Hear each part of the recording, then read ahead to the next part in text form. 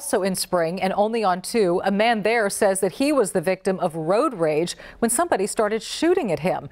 It happened on the North Freeway near Cypresswood Drive, again in the spring area. Channel 2's Jennifer Bauer live now with what the man told her about this very close call. Jen? Yeah, Carlos was only one and a half miles from home when he was shot at by a man who cut him off. This is the huge hole in the hood of Carlos's pickup truck. He got it on Wednesday night after someone shot at him near I-45 in Cypresswood. When I saw the, the sparks, you know, the, and then I, I felt in my truck a bomb. Carlos says road rage caused this. A man driving on 45 cut him off.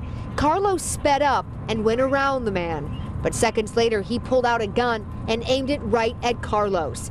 It turned into a terrifying ride home for this 64 year old. Oh, yeah, yeah. Because, you know, somebody's shooting you and then you, you can do nothing. Just speed up and get out of there. It was a close call. This bullet hole is just a few feet from the driver's seat where Carlos was sitting. Had any one of them slowed down or sped up at that time, my dad would have been shot.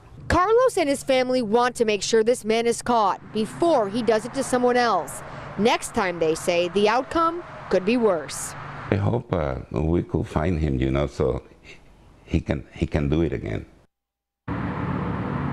Now, the shooter was also driving a white pickup truck. It's described as a Chevy Colorado with four doors and it was four-wheel drive. Anyone with information on this crime should reach out to the Precinct 4 deputies.